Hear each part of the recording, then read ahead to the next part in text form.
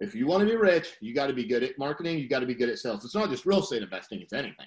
And marketing and sales, guys, is really the key to wealth building. You got to be able to have people come to you that want your product or service. And you've got to be able to convert that into dollars.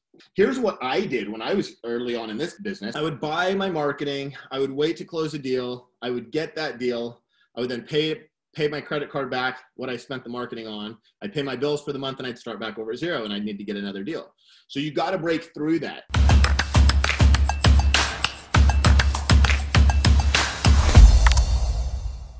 Leads are the blood of the business and marketing is the heart that pumps them. Okay. So if you don't have a beating heart, do you really have a business? So without further ado, let's jump into it today. Wholesale real estate, it's really simple. We need leads that are sellers who are interested in selling their house. Now, is every lead going to be motivated? Not necessarily, but when we think of marketing, we're not worried about that. We're not worried about are they going to be the hottest sellers or not. The thing is, we need people calling us that are interested in what we have to offer, which is a cash offer. So we need to get leads. And then once we have the leads, then we're going to qualify them and find out are they a potential wholesale deal now? Today we're talking about how to get those leads in in the first place. Okay. So for every 10 leads, you're going to get roughly three that are ready to, to make a decision right now if the money's right.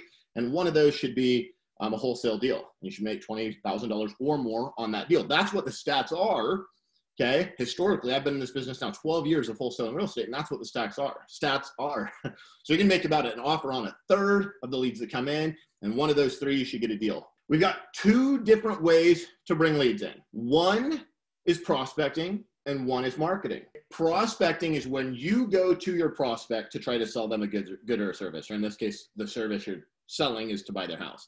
So prospecting, you're going to them. Okay.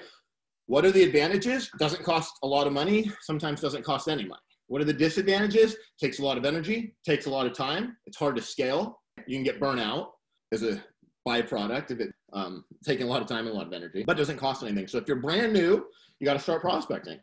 Now, marketing is where you are put paying money to have your prospects come to you. So prospecting, you're going to them takes a lot of time. You can only get to so many people. Marketing, you're paying money to have the masses come to you okay? But it does cost money. So the the negatives of paid marketing really there's only one it costs money.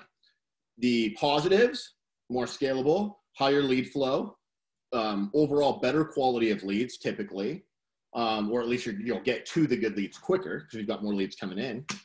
And so if you're just getting started and you've got a little bit of a budget then you want to look at how you can um, start marketing as efficiently as possible. And if you don't have a budget you got to start off by prospecting. Now, that's okay.